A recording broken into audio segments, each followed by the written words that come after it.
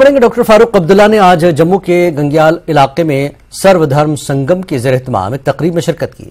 Doctor Farooq Abdullah ने कहा कि तमाम मजाहब हमें मोहब्बत और भाईचारे का दर्ज देते हैं। खुदा एक है, उन्होंने एक दूसरे से मोहब्बत करने की अपील की है। उन्होंने कहा कि गुरु नानक ने भी एक दूसरे के दरमियान अमन और भाईचारे की तबलीग की और वो इसकी तायद करते हैं।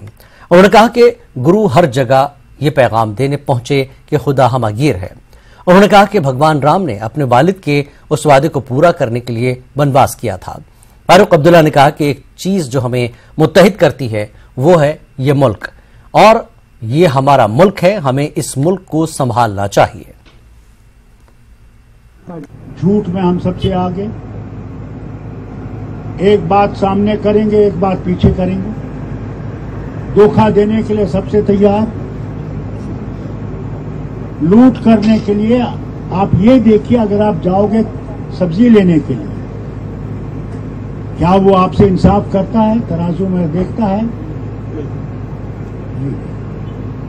ये नहीं जानता कि देखो, वो देख रहा है। वो रात के अंधेरे में भी देख रहा है, जहाँ तुम ये समझते हो कि लाइट बंद कर दी, अब नहीं देखेगा, वो हर चीज़ देख रहा है।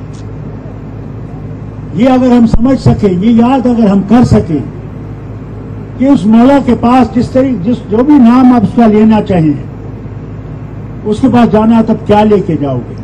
हम भगवान का सिर्फ़ नाम लेते हैं।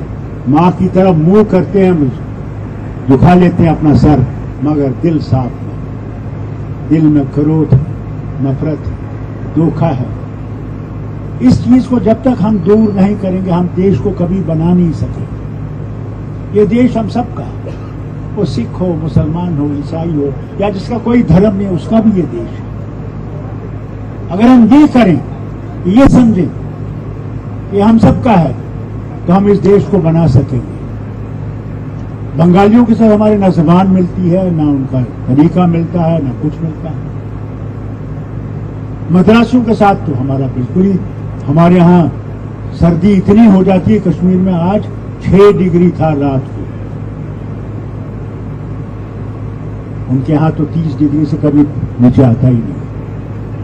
मगर क्या है जो हमें मिलाता है? कि हमने इस देश को खुद बनाना है, इकट्ठे बनाना है, मिलके बनाना है।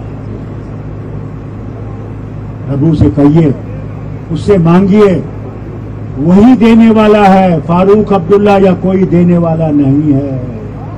वो जिस दिन आपकी रोजी बंद करेगा, कोई आपको देना चाहे, नहीं दे सकेगा, नहीं दे सकेगा।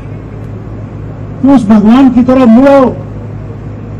नहीं तो तुम्हारा यह राजपाट सब उड़ जाएगा आपसे भी कहते हैं, इस संगत में आए हो तो इस संगत से कुछ सीख के जाओ।